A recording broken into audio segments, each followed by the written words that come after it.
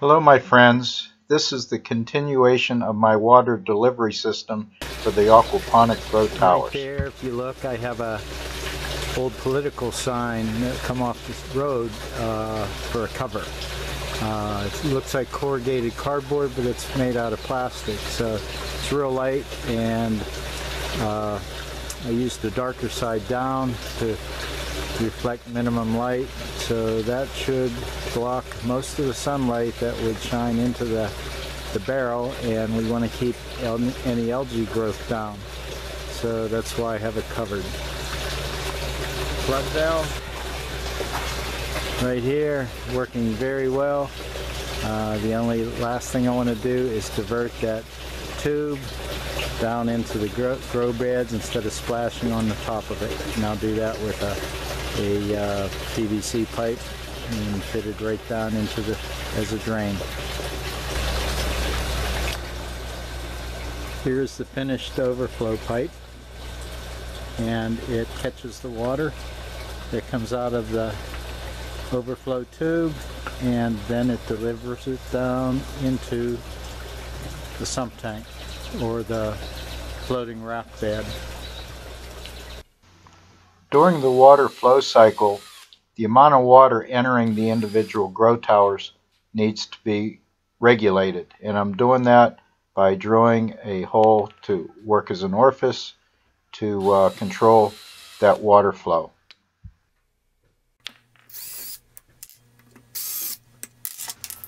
At the top of each tower, there's a half inch pipe that extends into it. And these caps terminate that pipe and control the water flow.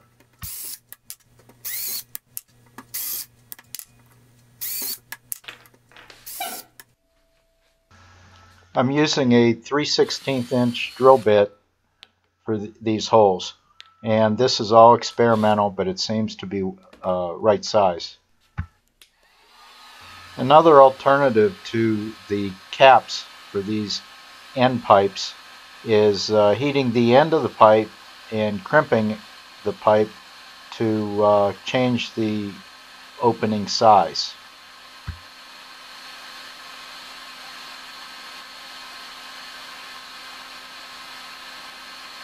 Takes about 22 seconds. and I've been using this channel lock to give it a squeeze and hold it to where I think is a good size. Then this sets up. It's almost an instant uh, setting. And we're doing both sides, both sizes.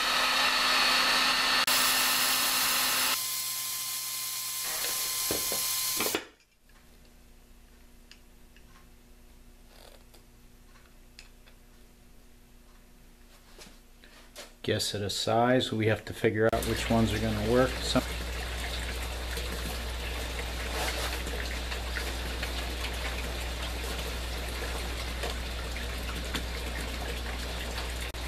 Here I'm installing the end pipes into the individual grow towers.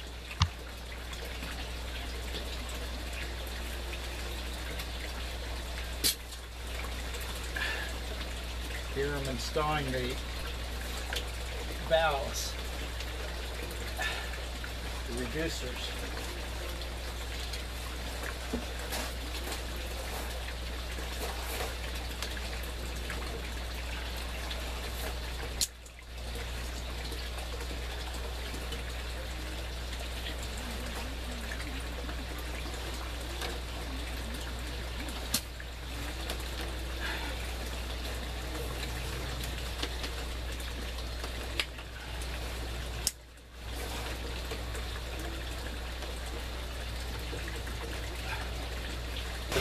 All these towers now all have uh, drilled caps in them and everyone is flowing and it seems to work pretty effectively. So now we'll test the system. Uh,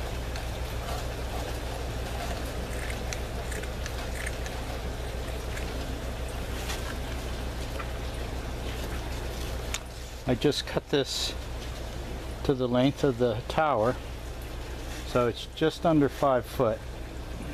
So I want the medium to be starting right here at the uh, top cup cup holder and the fill tube extends down into here so you don't want the medium up into this area anyway and this I'm going to split down the center this piece will make make two. This is uh, a coarse pond filter material. And it should be able to be used over and over.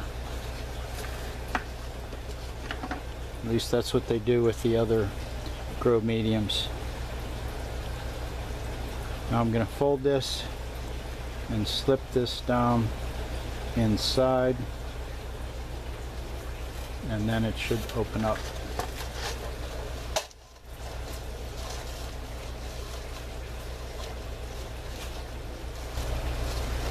we'll test this and see how these will perform. And I'm checking to see if the fold is near the opening. Okay, it's all the way up. And I have it all the way down, extended into the bottom. Okay, we're gonna hook this up and plant it and see how this performs. The other thing that I would like to try is stuffing some of this up in the top to see if it can disperse the water as it's going down through the tower. So I'm going to roll this up, make it fairly dense, and then stuff it in this end, right like that and put that in the tower and see how the water will come out of the bottom of this. See if it'll make it like it's raining. That's what I'm hoping for. Pick that up and test her out. Here's another scheme that I'm going to try. I'm going to use a grow cup or net pot, wrap this and stuff it inside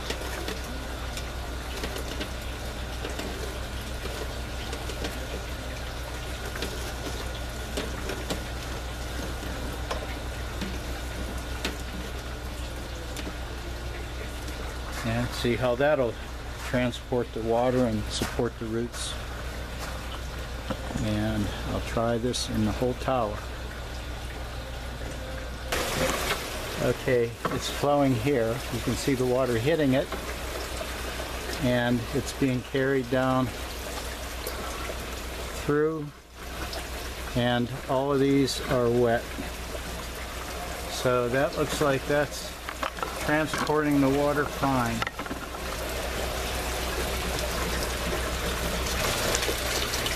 It seems like the best way to insert these is put the material in first, set it to the position that you want it, and then stuff the cup in.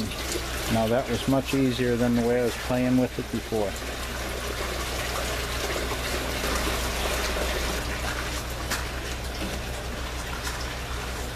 These cubes are measuring about three by four inches. That seems to be the size that is easiest to work with.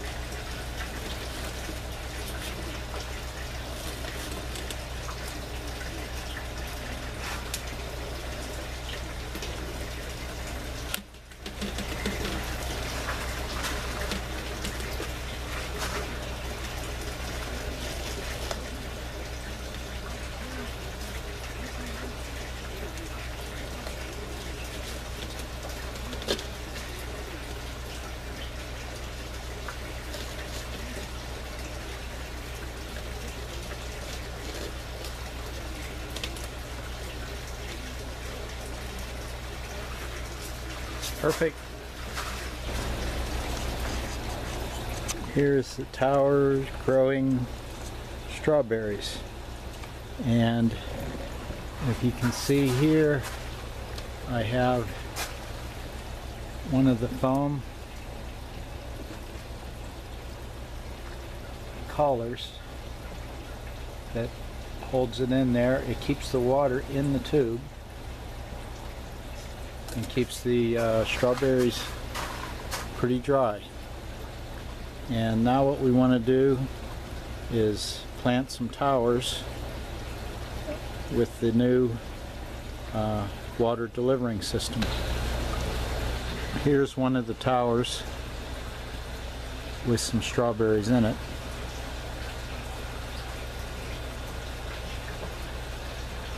And you can see right there I need one plant. The tower next to it is the one we're going to plant.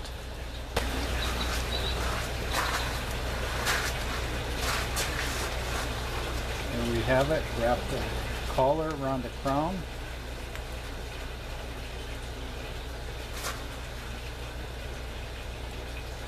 Leave the roots in.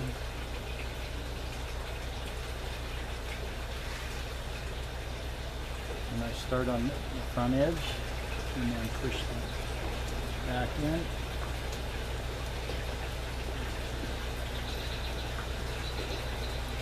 And right there.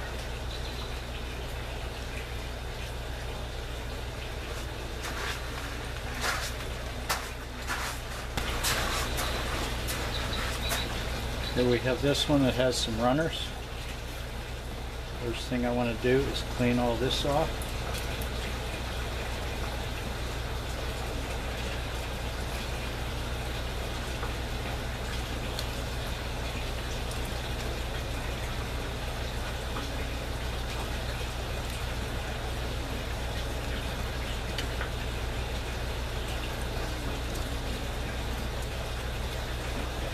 That's a kind of a short runner, so I'm going to leave that one.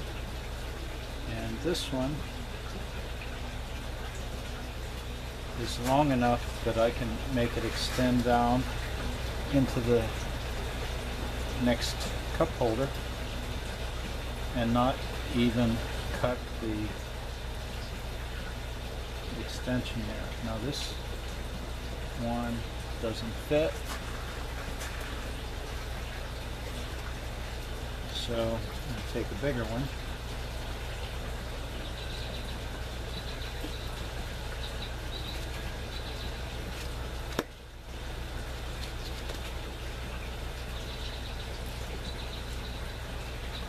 We're able to get a second plant. Divide that one.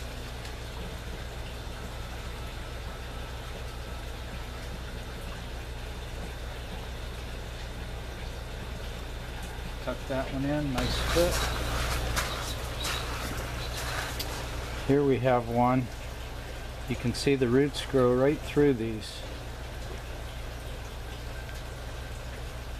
So we're going to try to pull this one apart.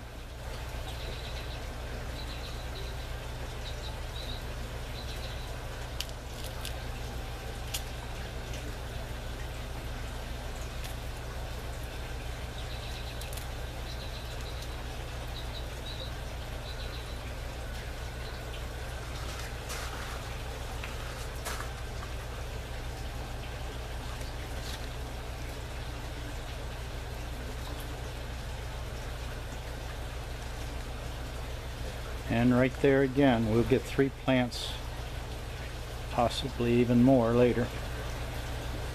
Some more.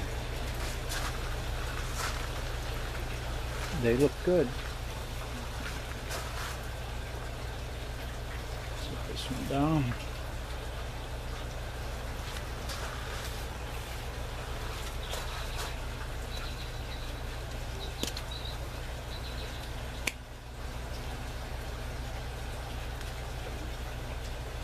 just like that. There the water's flowing and I'm not seeing but the camera's doing the looking for me.